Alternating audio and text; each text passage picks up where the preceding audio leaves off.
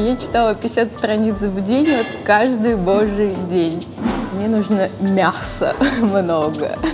Что? Вот это вот Несса Корал Бра. Я очень долго смеялась. Картавенькая, но красивая. Я захожу, а девушка стоит, на, у нее на голове чашка. Такой вопрос.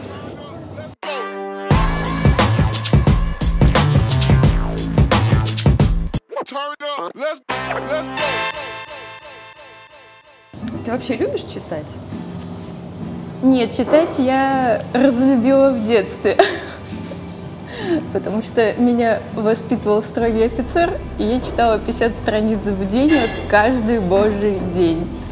И мне это отбило желание вот так вот просто сесть и с кайфом почитать книжку. Поэтому сейчас мне очень сложно себя это заставить. Иногда, вот если книга меня с первых страниц захватывает, то я читаю на одном дыхании, но это бывает очень редко. Больше я читаю какие-то паблики, истории, инстаграмы и так далее. Какая книга тебя захватила последний раз? Вспомнить бы еще.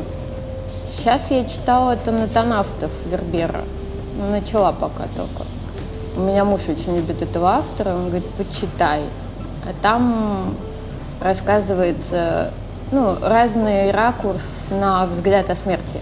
А, Это очень интересно, потому что мы стараемся оба достаточно легко к этому относиться, как-то не, не заморачиваться на эту тему. Поэтому сейчас вот эта книжка, зацепила. да. А вообще ты любишь Инстаграм, насколько я понимаю. Какой твой любимый все, аккаунт? все его любят, мне кажется, сейчас. Брошоп. Я, в принципе, и познакомилась с ним через Инстаграм. Еще очень-очень-очень давно я начала смотреть. Мне очень нравились вот эти видеообзоры. Я постоянно за ними наблюдала. Потом я пришла клиенткой. А потом, собственно, я осталась тут. Стала сама в видеообзорах мелькать. Да.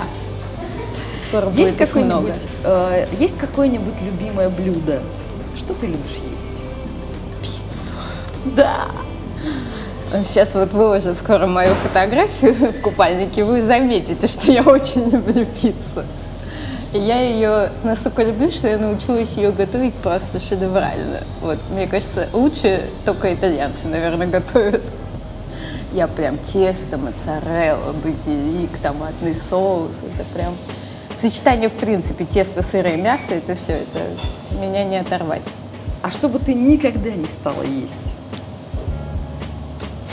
Субпродукты, всякие печенки, печени, вот это вот все, это не ко мне. Брокколи, вот эти вот все ПП, вот это не про меня. Я очень много раз пыталась заставить себя правильно питаться, но вот не могу я себя пересилить. Мне нужно мяса много.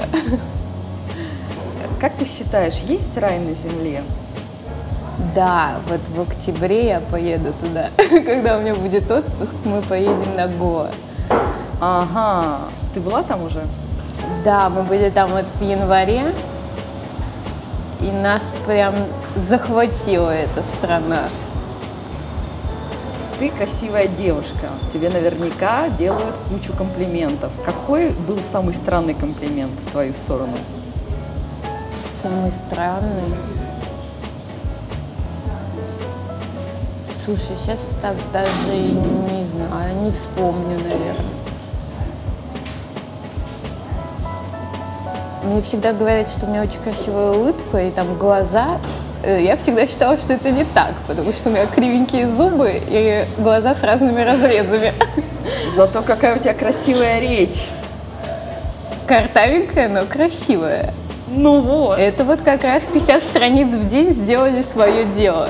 Я Да. всегда отличалась, что в школе, что уже в колледже, всегда отличалась четкой речью, всегда очень красиво читала. Поэтому да. Ну, ты не считаешь это странным комплиментом, когда тебе говорят, как ты Нет. классно говоришь? Нет, я привыкла, и знаешь, я не слышу своей картавости. То есть все очень удивляются, я, я не слышу свое «р» вообще. Я внутри себя в своей голове не картавлю. Когда я уже смотрю видео, для меня это, конечно, что? Вот это вот Несса Корал Бра. Я очень долго смеялась после этого видео. У тебя есть любимая поговорка, насколько я знаю? Колись. Ну да, это не поговорка, это набор слов. Когда меня спрашивают, ну, многие не с первого раза понимают, что я картавлю. Потому что у меня картавит только твердый «р». И когда меня спрашивают, о, ты картавишь, я говорю, да, рефрижератор, Эрих, 303 бронетранспортера. Всем очень всех нравится. забавляет, да, конечно. Кем ты работала до Брашоп? Ой, кем я только не работала. Ну, в основном, самая первая работа была в архиве у моего дяди. Он военный. И я на лето, там лет в 14-15, сидела в архиве, заносила это все в электронный вид. Потом мне удалось поработать вожатой в детском лагере, ну, собственно, потому что я в педагогическом училась. Это, конечно, такое испытание на прочность, когда у тебя пятилетние дети, и они вообще ничего не слышат. Это было весело, но это классный опыт. Потом я работала консультантом, подрабатывала летом между учебой и официантом работала.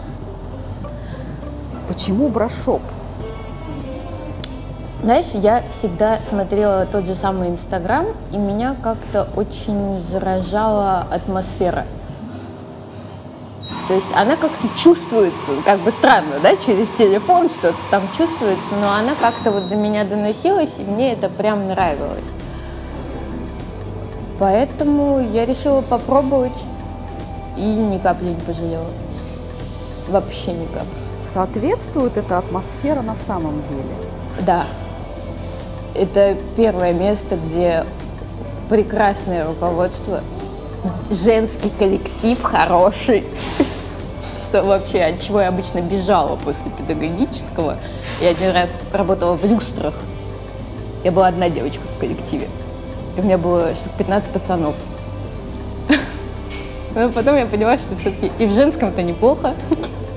А здесь прям девчонки дружные, мы все всегда смеемся, помогаем друг другу, поэтому здесь, конечно, и вот эта вот работа с клиентом индивидуальная, это тоже очень важный момент. Это не магазин, где ты там размер принес, и ты особо не контактируешь с клиентом, а здесь ты ведешь его от начала до конца. Это тоже очень важный момент. Ты внесла бы какие-нибудь изменения в работу шоурума? Представь, тебе дали бразды правления. Я бы добавила нам швею, во. Потому что многие хотят подшить что-то, купальник, там, лямочки и так далее. Они говорят, а у вас можно? И вот, вот этого бы я добавила. Какой у тебя был самый забавный случай в примерочной? Ну, я пришла с э, кучей купальников. То есть до этого мы померили часть, я принесла еще всяких разных новиночек. Я захожу, а девушка стоит, на, у нее на голове чашка. Она говорит, я по голове вот всегда попадаю. Если на голову идеально сел, значит на грудь тоже. А ты считаешь свою работу консультанта сложной?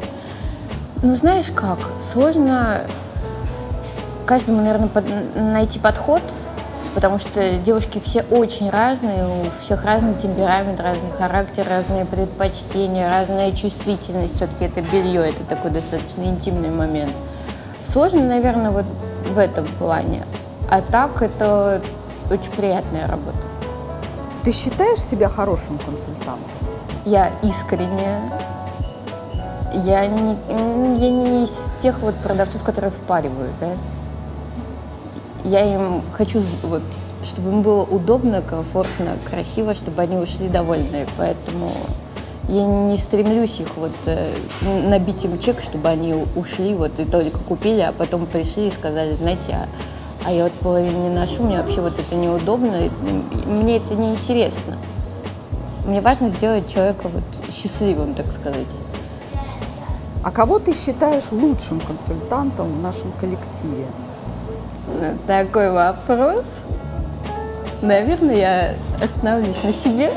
Ты к себе бы записалась? Да, к себе с удовольствием записалась. Ну, к человеку с моим характером, с моими взглядами, да. А тебе помогает твой личный опыт, твоя пышная грудь? Ну, скорее да, потому что я привожу девушкам в пример себя, как я себя ощущаю, какие я модели ношу, каких мне комфортно, в каких нет. Поэтому ну, легче, конечно, помогать, когда у тебя у самой есть такая проблема. Ну, я бы даже не назвала, не назвала бы, наверное, это проблемой. Сейчас с брошопом-то. Это раньше было, а сейчас нет. Сейчас будет короткий блиц вопросов. Отвечай быстро, не задумываясь.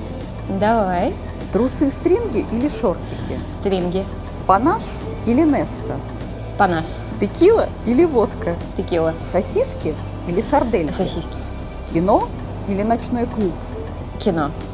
Отлично. Еще один вопрос. Представь, что напротив тебя сидишь ты. Что бы ты себе сказала? Я бы, наверное, сказала, не сомневайся в себе, люби себя и не бойся никаких начинаний.